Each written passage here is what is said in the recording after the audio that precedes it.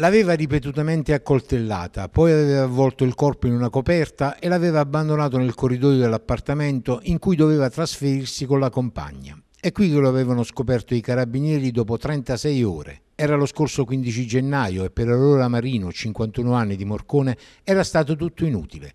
Quei colpi avevano stroncato la sua esistenza, quella di una donna che gestiva un'agenzia assicurativa ed era molto impegnata nel sociale.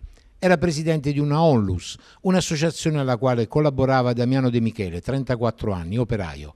Aveva confessato l'omicidio, lo aveva spiegato con il timore che lei potesse rivelare la loro relazione, nata alcuni mesi prima. Sarà giudicato a novembre con il rito abbreviato, che prevede la riduzione di un terzo della pena. Un delitto che aveva fortemente scosso l'opinione pubblica. Tragico epilogo, aveva raccontato l'uomo, di una lite scoppiata nella cucina dell'abitazione nel centro storico che lui aveva preso in fitto per farne la dimora con la sua convivente in stato di gravidanza.